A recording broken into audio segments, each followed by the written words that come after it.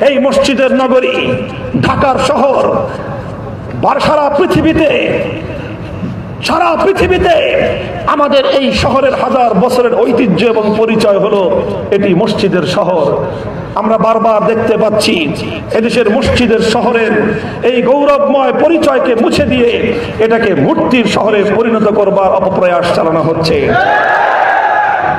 মজলুম বঙ্গবন্ধু শেখ মুজিবুর রহমান আল্লাহ পাক তাকে জান্নাত নসিব করুন। তিনি একজন মুসলিম হিসেবে বিদায় নিয়েছেন।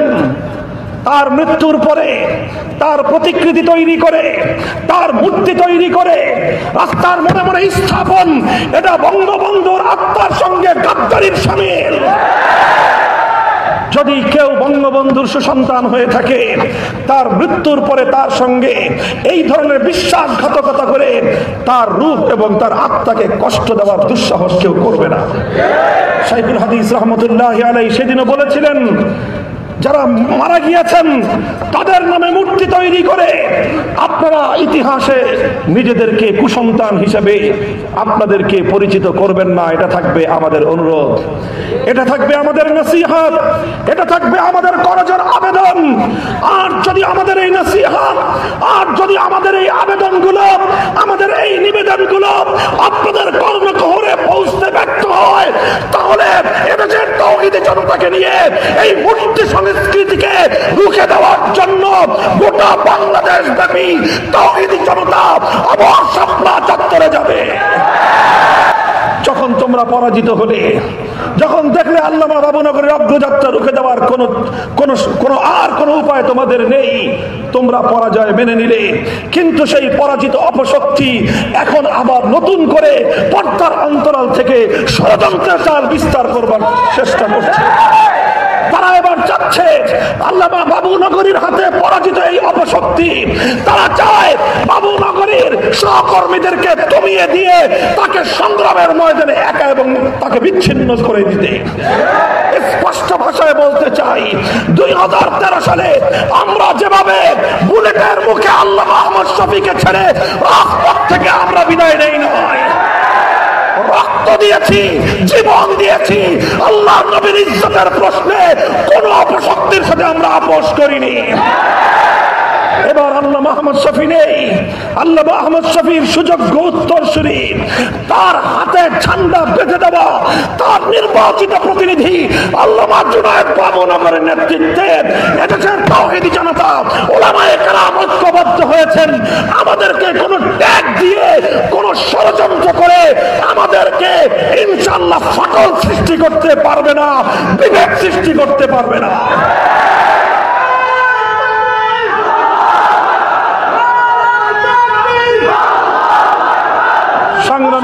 সাথী বন্ধুগণ, আমরা পরিষ্কার ভাষায় বলতে চাই। আমরা পরিষ্কার ভাষায় বলতে চাই। ইনশাল্লাহ আমরা আজও বলছি, সেদিনও বলেছি, সরকার যারা রাষ্ট্র পরিচালনা করতে চাও, তোমরা রাষ্ট্রে যারা সরকারের ক্ষমতায় যারা আসীন আছেন আপনারা আপনারা দেশ, জাতি ইসলাম এবং মুসলিম উম্মার স্বার্থে ভূমিকা পালন করুন। মনে রাখতে হবে, ইসলামকে মাইনাস করে বাংলাদেশের পরিচয় হতে পারে না। বাংলাদেশ ওআইসির অন্যতম প্রতিষ্ঠাতা সদস্য। এই পরিচয় যদি মুছে ফেলবার চেষ্টা করা হয়, যারা বাংলাদেশের অস্তিত্বের বিরুদ্ধে ষড়যন্ত্র করবে তাদেরকে আমরা বাংলাদেশে থাকতে দেব না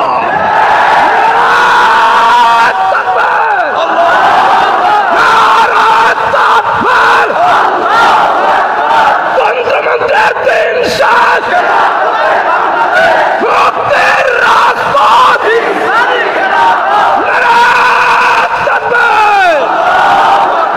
সংগ্রামী সাথী ও বন্ধুগণ, বাংলাদেশ খেলাফত যুব মজলিস সহ ভক্তিপ্রতিম যুব সংগঠনগুলোকে আমি আহ্বান জানাব, আবেদন জানাব। আসুন, আমরা আমাদের মধ্যকার মত পার্থক্য গুলোকে কবর রচনা করে শিশাদলা প্রাচীরের মতো ঐক্যের প্রাচীর গড়ে তুলি। দেখবেন, হিন্দুস্তানের দালালেরা বাংলাদেশে আগামী দিনে রাজপথে নাম্বার সাহস পাবে না। দেশের বাহিরে থেকে যারা বাংলাদেশকে মানচিত্রের মধ্যে ক্ষুদ্র অঙ্কিত দেখে, যারা মনে করো আমাদের স্বাধীনতা তোমাদের বদান্যতা, আমরা তোমাদেরকে স্মরণ করিয়ে দিতে চাই, রক্তের বিনিময়ে কেনা এই স্বাধীনতা শুধুমাত্র কারও অনুদান নয়, লক্ষ মায়ের রক্তের ইজ্জতের বিনিময়ে, আমার লক্ষ মায়ের শাহাদাতের বিনিময়ে অর্জিত স্বাধীনতা আমরা কারও কাছেই যারা দেই নাই। এদেশের স্বাধীনতা, এদেশের ইসলাম, এদেশের মুসলিম জাতিসত্তা হাজার বছরের ইতিহাসের মাধ্যমে সমৃদ্ধ হয়েছে। সংগ্রামী সাথী ও বন্ধুগণ, সর্বশেষ আমার আহ্বান থাকবে।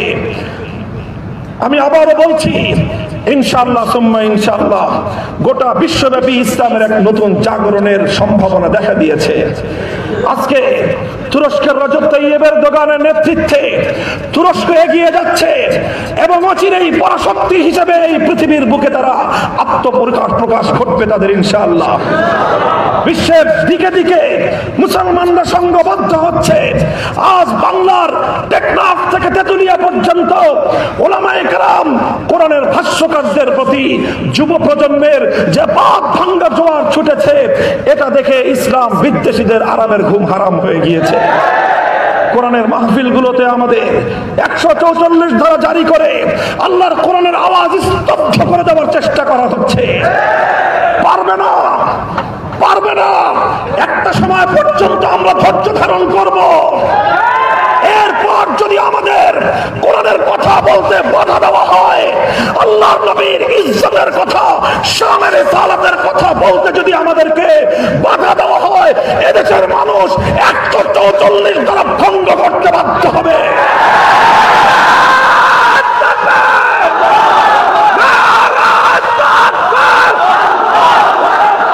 ইসলামের শত্রুরা দিয়েছি তো রক্ত রক্তের বন্যায় সাবিলুনা সাবিলুনা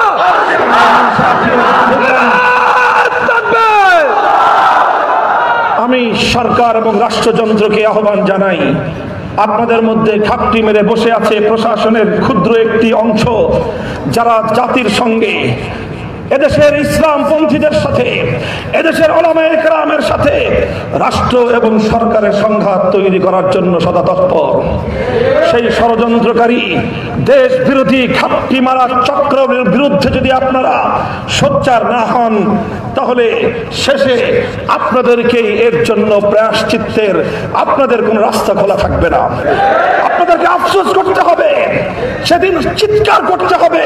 যেদিন জাতির আদালতে আপনারা অপরাধী হিসেবে চিহ্নিত হয়ে সাদার সম্মুখীন হয়ে যাবেন।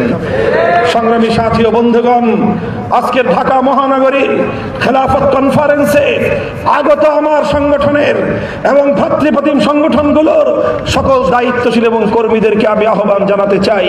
প্রস্তুতি গ্রহণ করুন। ইনশাল্লাহ ইসলামী বিপ্লব এদেশে হবে।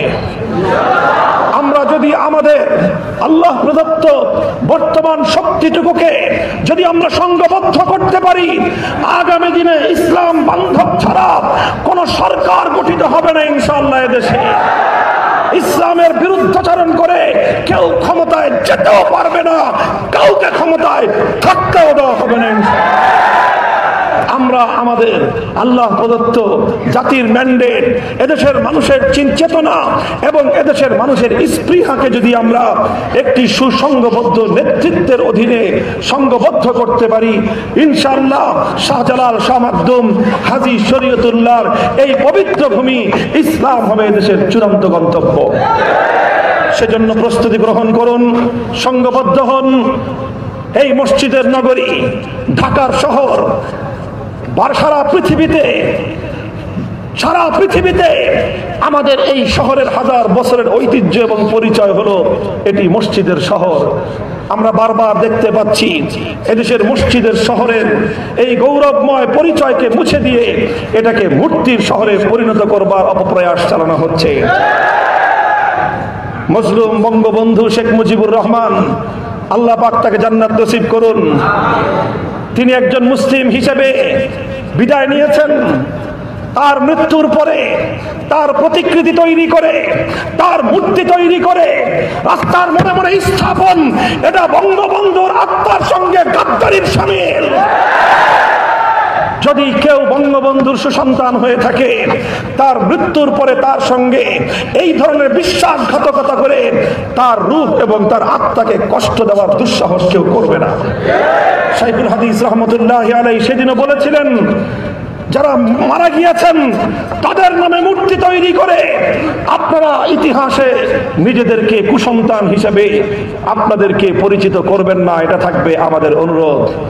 এটা থাকবে আমাদের নসিহাত, এটা থাকবে আমাদের করজের আবেদন। আর যদি আমাদের এই নসিহাত, আর যদি আমাদের এই আবেদনগুলো, আমাদের এই নিবেদনগুলো আপনাদের কর্মকহরে পৌঁছতে ব্যর্থ হয়, তাহলে এদেশের তৌহিদি জনতাকে নিয়ে এই মূর্তি সংস্কৃতিকে রুখে দেওয়ার জন্য গোটা বাংলাদেশ ব্যাপী তৌহিদি জনতা আবার সাপলা চত্বরে যাবে।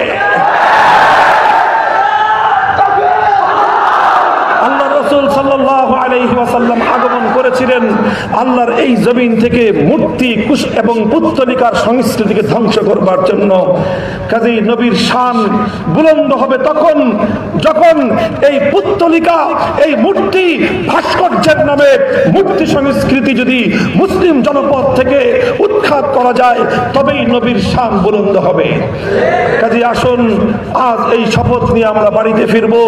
বাংলাদেশ খেলাফত যুব মজলিসের ঢাকা মহানগরীর সকল শাখা, উপশাখাগুলোকে আমি আহ্বান জানাব।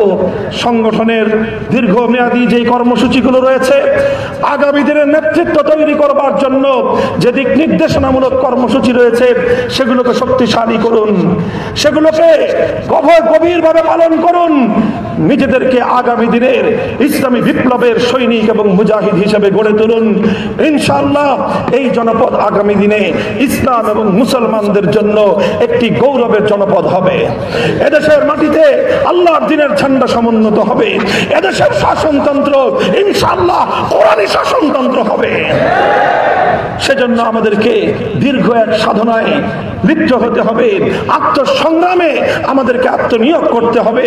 সেই সংগ্রাম, সেই সাধনা এবং সেই দীর্ঘমেয়াদী ঐক্যবদ্ধ পথ চলার দৃঢ় প্রত্যয় গ্রহণ করবার উদাত্ত আহ্বান জানিয়ে আজকের এই শানের রিসালাত কনফারেন্সে আমি আমার বক্তব্য সমাপ্ত করছি।